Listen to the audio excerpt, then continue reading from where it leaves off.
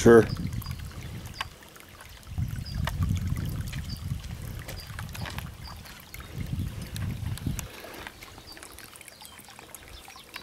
Right there on the edge.